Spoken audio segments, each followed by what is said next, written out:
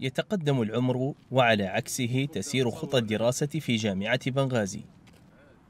حسرة تعلو ملامح الطلاب على ما مضى من عمرهم في عطلات دراسية اختلفت أسبابها فما كان لهم إلا أن يخرجوا عن صمتهم ويضغطوا على من يعطل سير الدراسة في جامعتهم. بتحشيد بعضهم البعض للمجيء إلى كلياتهم حتى وإن كانت خاوية على عروشها. فهي بالنسبة لهم ورقة ضغط لكي يعدل الموظفون عن قرار اعتصامهم الذي طال أمده.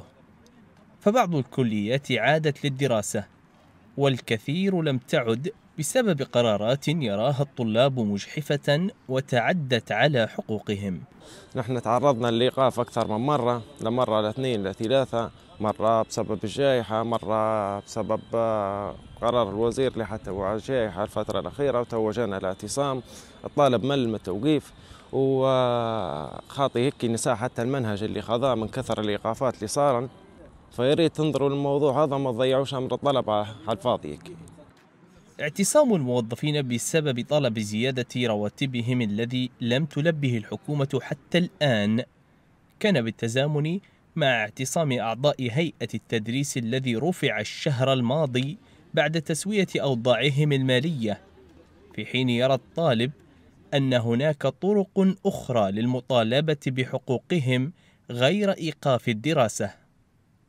بعض من الكليات يعني يعني عمداء الكلية صرحوا أن لحد الجاي أنهم هم حيبدوا دراسة بشكل رسمي ونتمنى يعني أنه من عز الدين ندرس أنه يطلع ويقول كلمة يعني. يعني لعن تو ما شفنا منه شيء.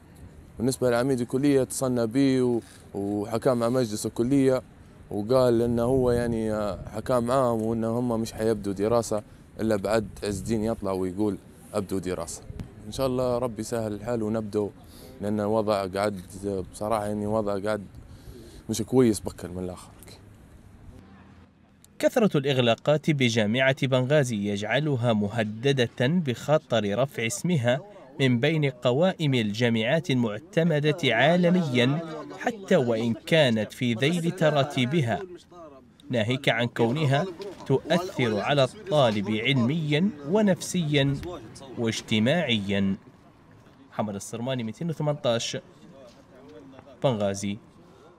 نبقى في بنغازي حيث أقيم حفل ختام البرنامج التدريبي المركزي لمراكز محو الأمية وتعليم الكبار الاحتفال جاء تتويجا لبرنامج شارك فيه 385 متدربا عاملا في مراكز تعليم الكبار. أشرف عليها أو أشرف على تدريبهم نحو 40 متدربا. وتم خلال الاحتفال توزيع شهادات المشاركة. وتكريم المدربين وبعض رموز التعليم. كما شمل الحفل تكريم الدارسات المتفوقات من فصول محو الأمية في الشهادتين الإعدادية والثانوية للعام الدراسي 2020-2021